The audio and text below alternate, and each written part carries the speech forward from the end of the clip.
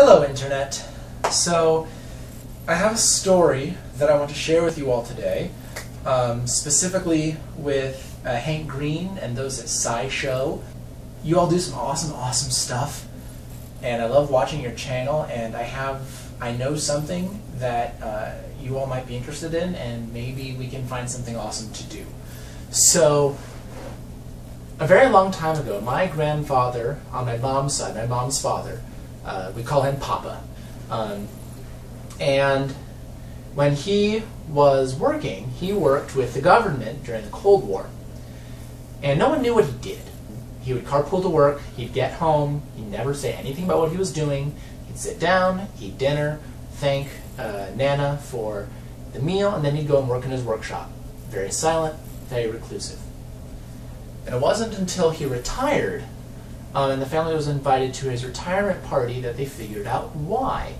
Um, there were three star generals at his retirement party, and everyone kept calling him Black Cloud. And they found out the reason that he was called Black Cloud is because if any rocket launched from the United States, he had final say on whether it launched or not. Um, he took into account all the data of all the weather, not only for where it was launching, but also places it was supposed to be flying over. So, for instance, if this rocket was oh, carrying spy technology to go spy on the USSR, uh, he looked at the weather patterns to whether they were going to have a clear shot, as to where it would land so it could be recovered in good weather. He was the black cloud. He had the final say. Huge amount of power and responsibility in that. And not to mention, top secret, which was why he never talked about it. And after the Cold War in the 90s, all his work got declassified, so he could finally start talking about it.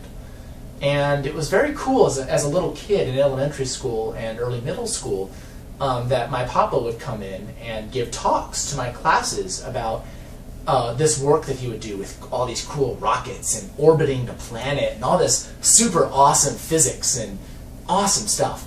When I was in sixth grade, Papa came to speak to my science class about rockets and their orbits. My mother, at the time, was going back to school. Um, she was getting her bachelor's degree. And she, even though she grew up with this man, because he couldn't talk about it until she had grown up and moved out of the house, she really didn't know much about what he did. So she came to the talk because she wanted to hear what her father had done while she was growing up. And he talked about how the orbits worked and how they had to develop the rocket so that it could orbit over the USSR four times to get the four different kinds of shots. And he talked about the design of the rocket and how you know where would store the the spy um, cameras and how the rocket fuel would work how it would be able to be recovered once it landed. And my papa mentioned that he was working on the design of these rockets with some of his friends. And my mother was just flabbergasted. And she was talking with the teacher afterwards and was talking about how the people that Papa is talking about, she is learning about in her history books. Oh my God. As a sixth grader, I thought, wow, that is really freaking cool although I'm in, only in sixth grade, so I didn't really fully comprehend what that meant.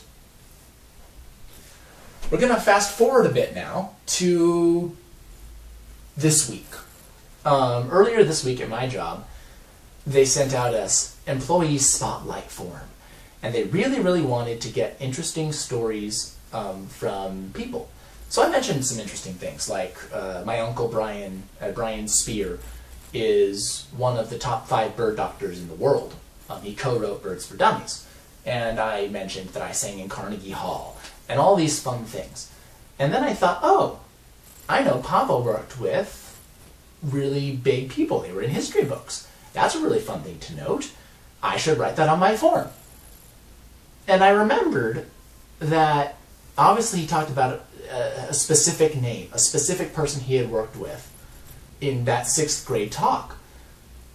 And I wanted to figure out who that was. Who was it that he had talked about that he had worked with? And so I emailed my mother, um, and said, "Hey, do you happen to remember who it was that Papa was talking about in sixth grade?" And she responded, "Yeah, um, it was something like his friend Werner Brown or something." And, I, I looked up Werner Brown and I couldn't find anything until I decided to look up rocket science. And I realized that what my papa was saying as Werner Braun and my mother was hearing as Werner Braun was Wernher von Braun. My papa worked with the father of rocket science and was on a first he was on a first name basis with the man. He called him Wernher. Ah. Uh, I, when I realized that today, I, I, I, I, I, I, I, might have needed a new pair of pants. The, oh my God! Papa, Herb Speer, worked with Wernher von Braun with rockets during the Cold War. This is amazing. And my papa he he still very clearly remembers working with this man um, and the things that they talked about.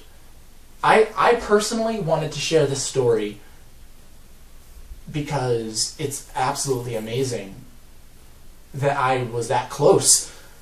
That my that my grandfather worked with Wernher von Braun.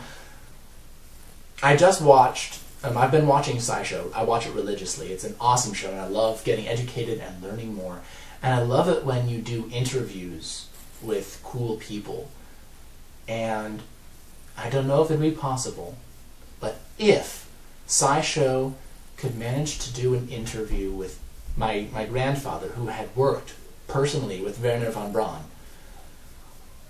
oh my god, that would be awesome. Not just, you know, oh my god, my grandfather's on the SciShow, but because he would have, he, he worked with the man in person on rockets. that there's a there's knowledge there that would be so awesome to share. And the fact that it was this top secret spy program over Russia and that he was Black Cloud, it, it just seems like there's so much awesome information we could share. Um, I really, really hope that I get a response. Uh, I'd love it. if it was from Hank Green, I, I might just explode. But I, I really hope that I can get some response. I hope that um, that this can maybe become a thing. Uh, Papa and Nana, they live in a house that they own in the mountains on the west coast. He is a is an absolutely fabulous and honorable and humble man. And I, I, I really hope that maybe something can come of this. But even if nothing does, even if that doesn't happen, uh, I just wanted to share that with the world that my grandfather worked on rockets with, with Wernher von Braun. And that's amazing.